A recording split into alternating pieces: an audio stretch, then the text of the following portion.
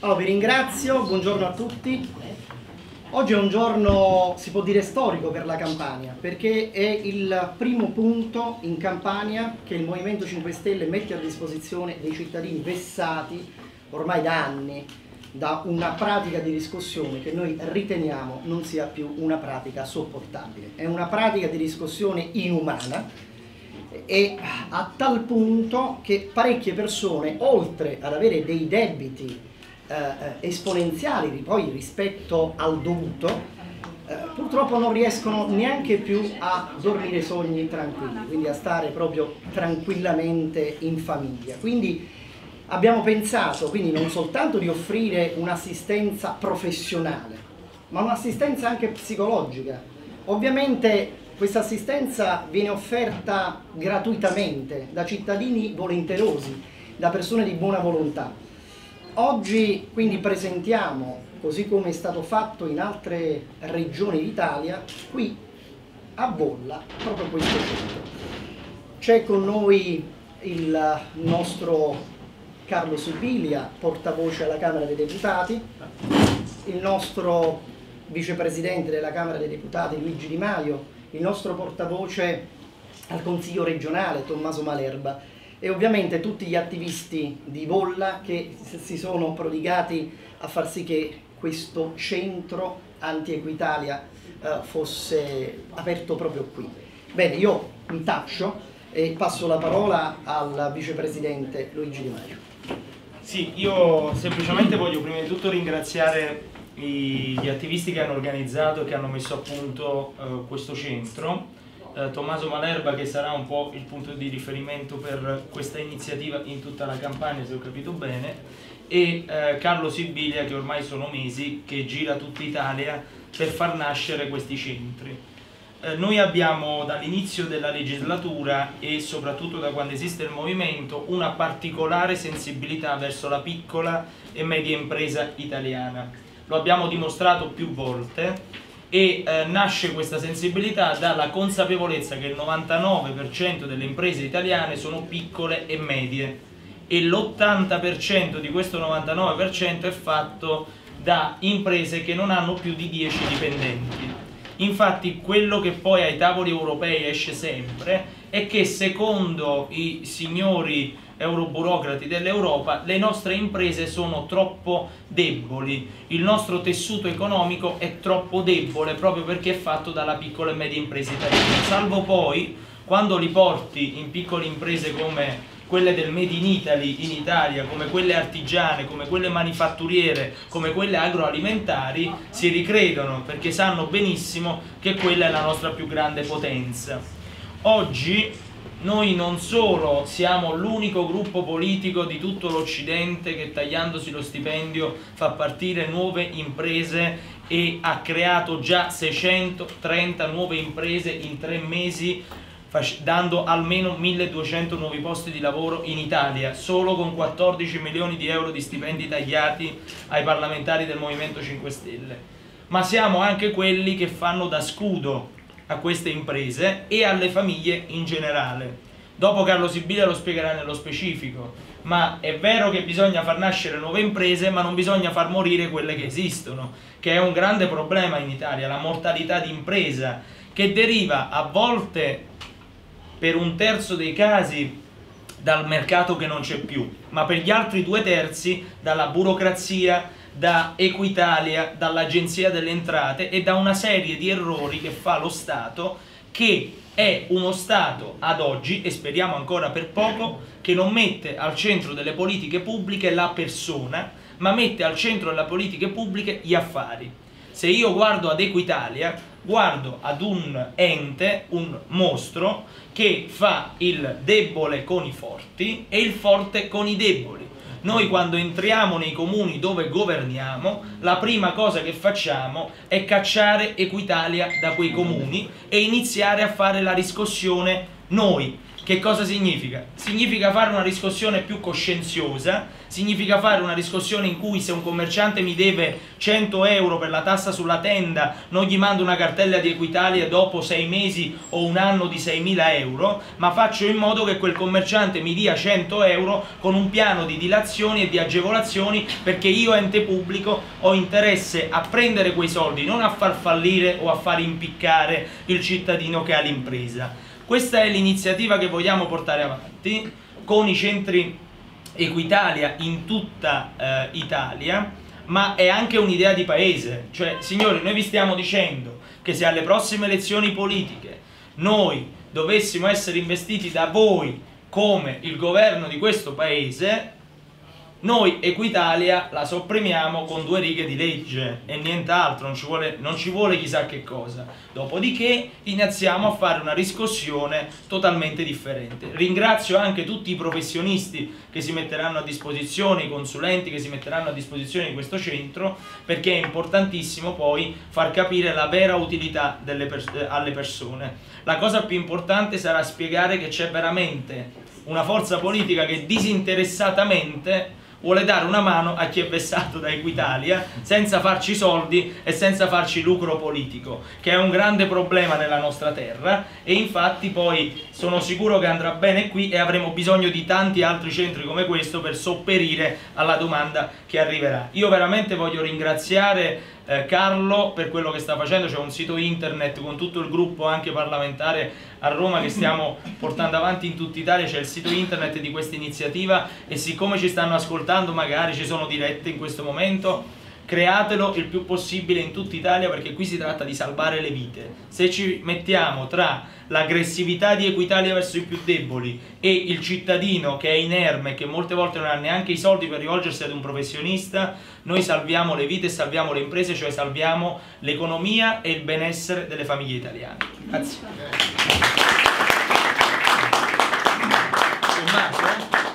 Carlo. Ah, Carlo. Prego Carlo. Allora, grazie a tutti, eh, grazie a Luigi, grazie a Sergio, grazie a Tommaso e a tutti quelli che stanno collaborando per questa iniziativa. Eh, ringrazio voi per, eh, per, seguirci e tutti gli attivisti che hanno reso possibile oggi questo momento. Se noi riusciamo in, questo, in questa giornata a inaugurare quello che io sostengo essere un presidio di sicurezza e assistenza per i cittadini italiani e per le imprese chiaramente. Questo è un concetto, la sicurezza e assistenza oggi è un concetto quanto mai eh, fondamentale. Non, non, possiamo negare che eh, sono, dei della, sono, dei momenti particolari della, storia della, della nostra Europa, della nostra Repubblica, eh, arrivano minacce continue dall'esterno, noi non ci possiamo permettere di avere anche minacce interne questa è la verità. Quindi per noi i punti di soccorso anti-Equitalia sono dei punti di sicurezza e assistenza al cittadino, cioè fare qualcosa che lo Stato ha dimenticato di fare. È fondamentale spiegare alle persone che allo stato attuale Equitalia non colpisce gli evasori fiscali.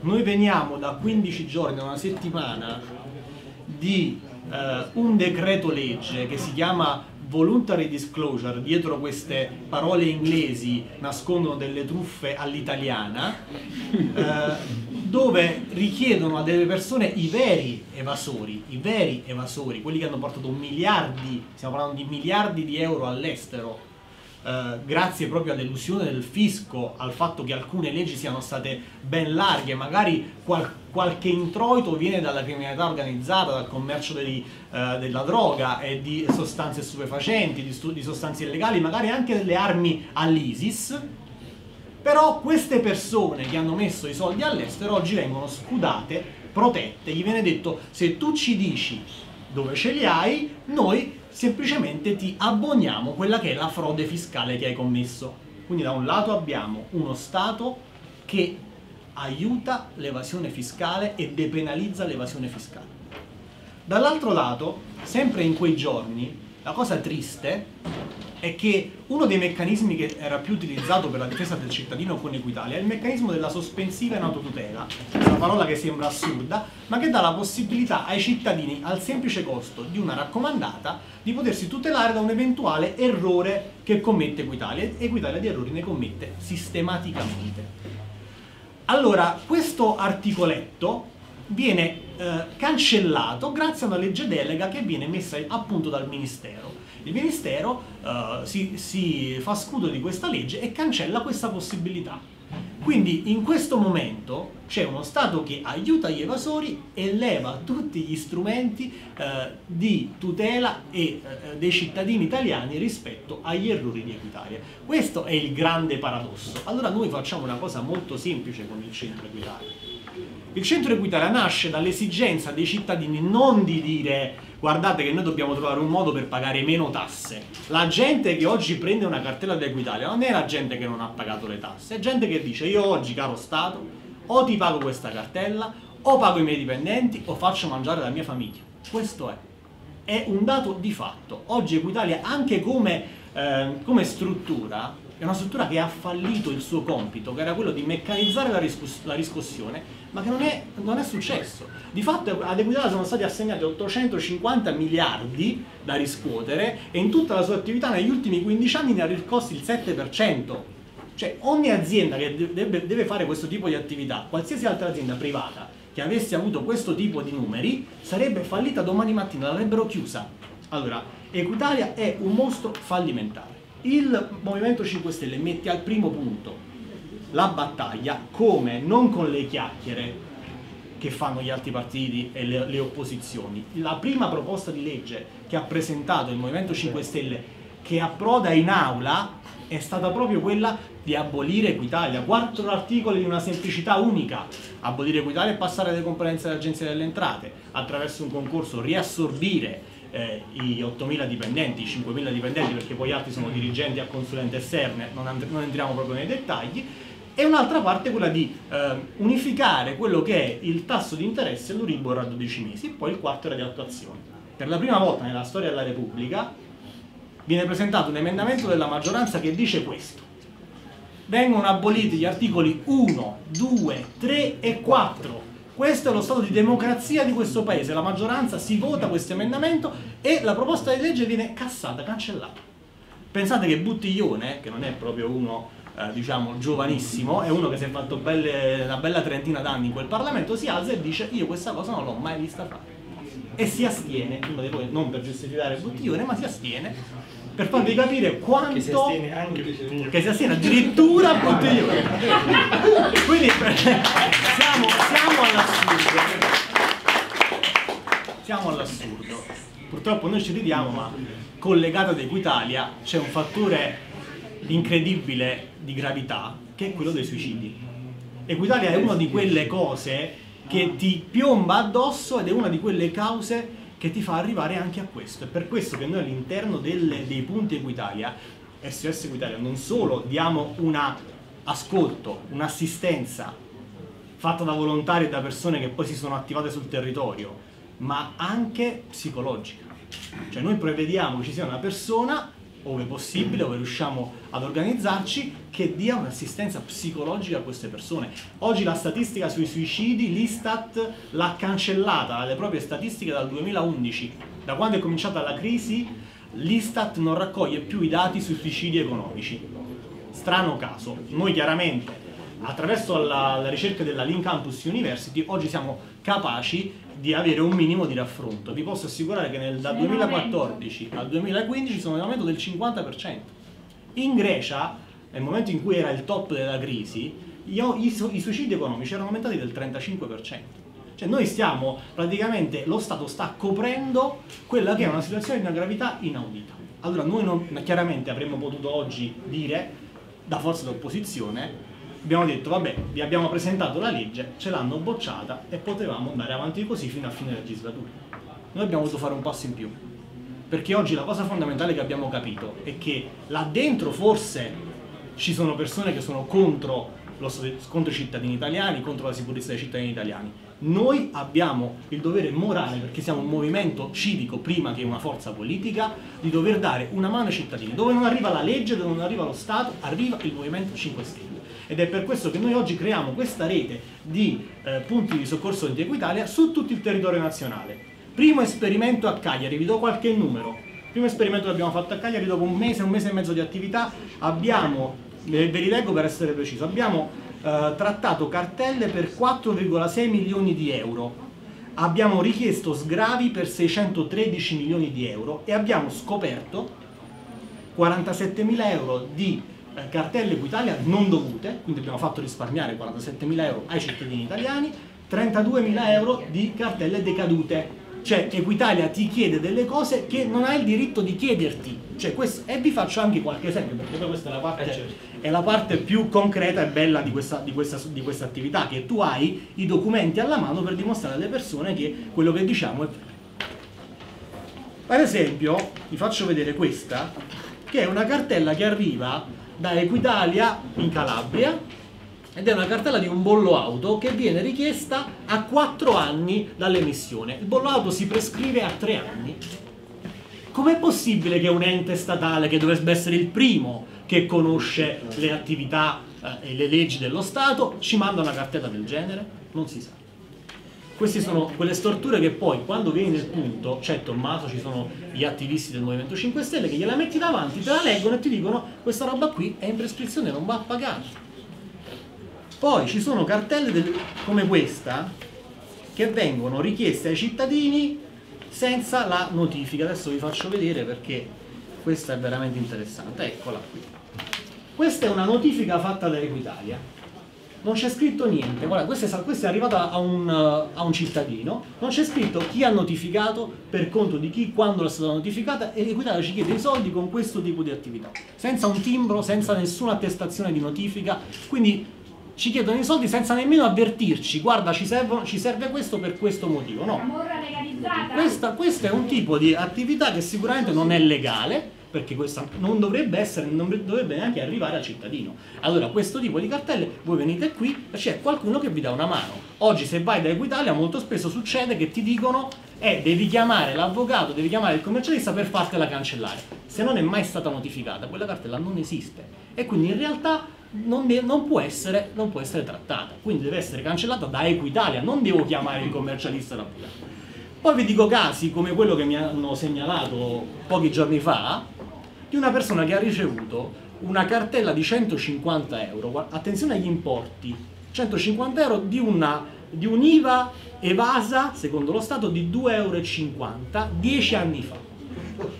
Però perché ti arriva la cartella di 150 euro? Perché chiaramente non ti conviene più andare dal commercialista oppure dall'avvocato e fare un ricorso, perché chiaramente spenderesti di più. Questo non è un caso, questo è un modus operandi, perché su queste cifre qui si fanno i soldoni, cosa che non fanno con i grandi evasori. I grandi evasori hanno tanti soldi da dare, non vengono toccati e gli altri sì. Vi dico solo una cosa, settimana scorsa abbiamo aperto il punto in Calabria e nel primo giorno di attività sono state eh, consultate, sono arrivate 38 persone da tutta la Calabria che si sono consultate con il nostro punto civico, hanno avuto tutte e 38 la loro assistenza e tutte quante sono tornate a casa soddisfatte da quello che abbiamo avuto modo di vedere. Abbiamo trattato cartelle per 450.000 euro, del range che va tra 350 e 200.000 euro di cartelle e abbiamo avuto anche l'occasione di eh, utilizzare quello che è il professionista relativo all'aspetto psicologico. Quindi è una cosa che funziona nel momento esatto in cui viene creata. Quindi questo è quello che ci aspettiamo anche che succeda in campagna. Dico due cose e poi chiudo. Cosa non è il centro? Il centro non è un centro di consulenza, noi non facciamo consulenza, noi siamo un supporto ai, magari ai professionisti, quindi non è per sostituirci ai professionisti, agli avvocati, commercialisti, tributaristi, loro fanno il loro lavoro. Noi diamo una prima assistenza. Qual è, qual è il concetto? Invece di, di prendere una cartella equitalia e metterti le mani nei capelli, perché questo è quello che succede, vai da qualcuno di cui ti fidi, una persona credibile perché dimostra credibilità in quello che fa nelle sue attività e ti dà un minimo di assistenza. E di quello che stiamo parlando E questo è, è l'obiettivo che noi eh, abbiamo oh, anche nel futuro. Ancora, questo punto è regionale. Quell'esperimento che stiamo portando avanti, se mi puoi dare un attimo la cartina, è di avere un punto per ogni regione. Questi sono attualmente gli esperimenti che stiamo portando avanti. Quindi è bene che tutte le persone del Movimento 5 Stelle, eh, tutti gli attivisti, tutti quelli che vogliono dare una mano, anche negli altri posti della regione, e che quindi vogliono eh, anche loro attivarsi per questa battaglia al fine di abolire Equitalia, eh, diano una mano a quello che è questo punto, perché questo è l'esperimento iniziale che deve funzionare. È una cosa fondamentale. Tutti quanti, tutta la campagna unita deve riuscire a dire questo è l'esempio che abbiamo portato avanti e questo esempio funziona. Nel momento in cui dovesse funzionare in una maniera regolare o precisa, come vogliamo noi, questa cosa si diffonderà anche in altri punti della campagna, come oggi si sta diffondendo in altri punti d'Italia. Questo centro serve a dare assistenza ai cittadini e sicurezza ai cittadini, ma dall'altro lato, come vedete, a questo tavolo ci sono senatori, deputati, consiglieri regionali. Immaginate quante storture legislative noi possiamo andare ad individuare leggendo le vostre cartelle e i problemi che avete e proporre, fare proposte di legge, iniziative legislative, raccolte firme, tutto quello che serve per avere finalmente una riscossione equa che sia rispettosa dell'articolo 53 della Costituzione che dice che ognuno deve contribuire alle attività dello Stato per quello che può. Io vi ringrazio e lascio la.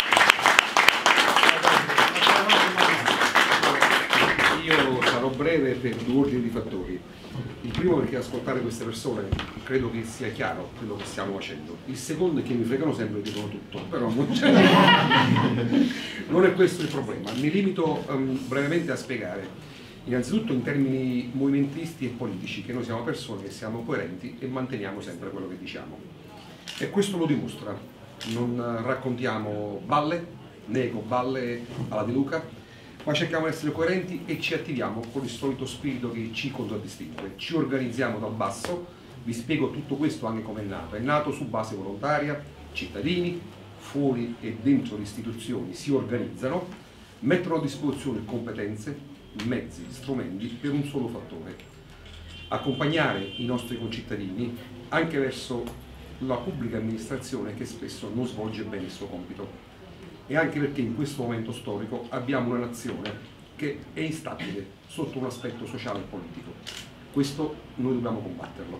E non è normale che imprenditori si ammazzano, non è normale che le persone a casa quando arriva una, una cartella Equitalia essimano un'estorsione, il nostro compito è accompagnarli in un processo amministrativo, fargli capire, come dice spesso Luigi, vi rubo una sua battuta giustissima, il cittadino si fa Stato, avere contezza, consapevolezza che nei processi amministrativi basta capire che spesso un tributo non è più esigibile, non è dovuto e ricordarvi anche che nei comuni dove governiamo questo ente strumentale, vessatorio e poltronificio è stato già abolito. L'obiettivo finale sarà questo. Quindi il nostro obiettivo è accompagnare le persone in questo processo per dare una consulenza che parte da basso, condivisa e far capire alle persone che noi siamo per il pagamento delle tasse, ma non per quello non è dovuto e cerchiamo anche che un'amministrazione, uno Stato sia vicino ai cittadini, li aiuti a poter esercitare le loro professioni,